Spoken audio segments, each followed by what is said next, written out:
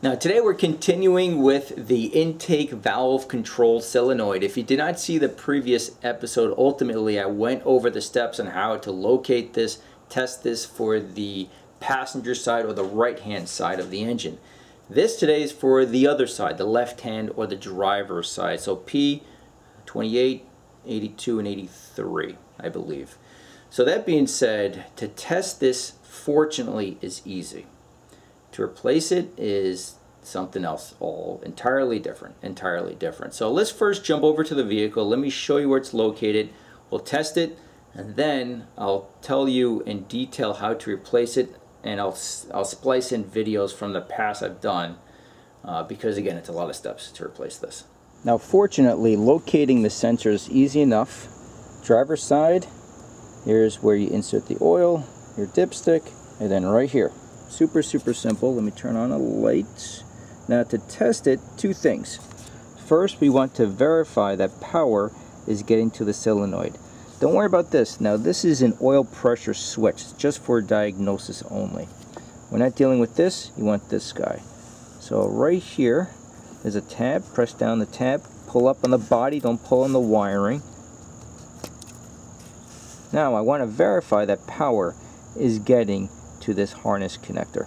Now to test that power is getting to that harness connector, this is just a digital multimeter. Do not be intimidated by these if you've never used one. $20 or so.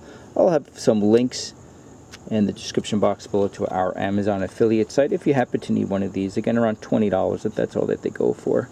And you want, in this case, volts DC. Okay? Now take a look at the harness connector. And what I'm going to be using, actually let me zoom out, is just a wire with two alligator clips. This just makes it a lot easier to do this test. Not necessary, but makes it easier. Just taking the end of the alligator clip, and you have two prongs. I'm just taking the clip and touching the prong on the left, okay? Make sure it seats in there nicely. And then And then, going back to the multimeter, I'm just making the connection. Alligator. That's it. Easy. Now the black wire from the multimeter is going to ground. That's any good metal point. So something like the alternator, for example. So the first thing I need to do is turn on the ignition key. So you're not going to start the vehicle, just turn the key to the on position. Now on the multimeter you want the volts DC setting and if you have a fully charged battery you should see around 10 volts worth of power getting to this harness connector. In my case this battery, this car has not been started in maybe two weeks so the battery is most likely discharged. But let's just see what we come back here.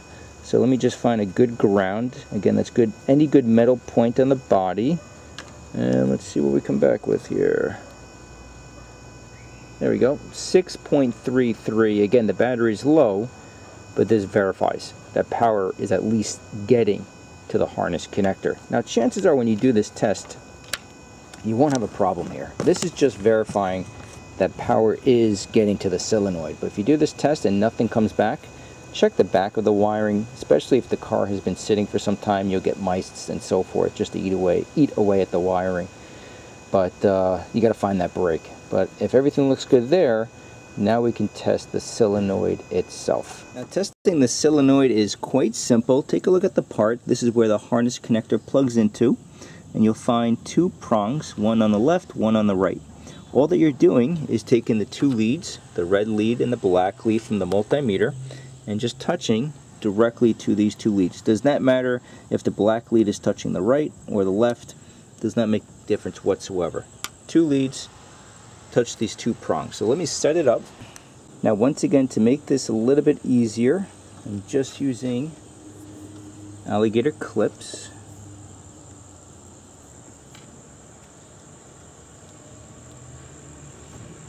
This just frees up your hands. So one lead to the multimeter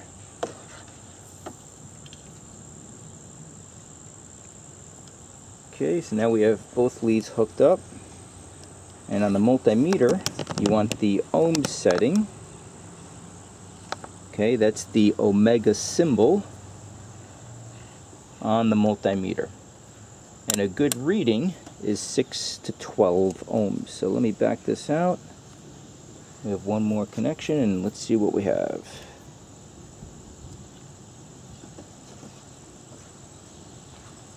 So we have right on the money roughly 9.9, 10 ohms. So that tells us the solenoid is working perfectly, perfectly fine. The reason why you want to test it is because you can have a check engine light, but the solenoid is fine. You may just have dirty oil. So if that's the case, Subarus are finicky when it comes to this solenoid. Make sure you change your oil on time, otherwise it's going to throw this trouble code. But if the oil is clean, you have trouble and you do need to replace it, how in the world do you do it? Now we're able to see two fasteners right here holding on the solenoid. There's another two that you cannot see that's behind this rear timing belt cover. This is the front cover and this is the rear cover. There's actually, uh, these separate. So the long story short is there's a lot of work to do. What you need to do is remove the drive belt. You need to remove the crankshaft pulley, then the timing belt cover, then the timing belt itself, and then the camshaft sprocket.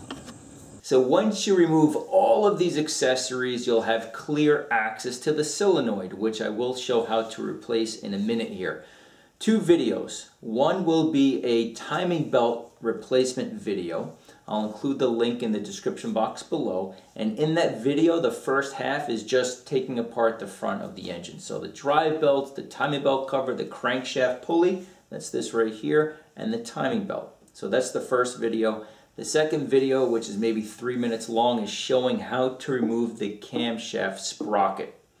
So watch those two videos. You can get clear access to everything, remove everything, and then tackle the solenoid.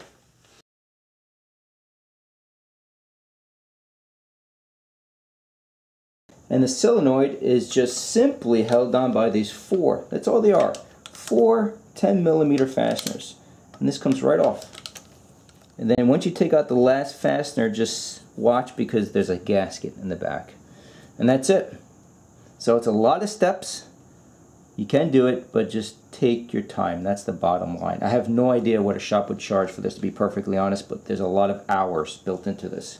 So that's what it takes to replace this solenoid. Again, it's a lot of steps. At least at home, you can test this at the very least.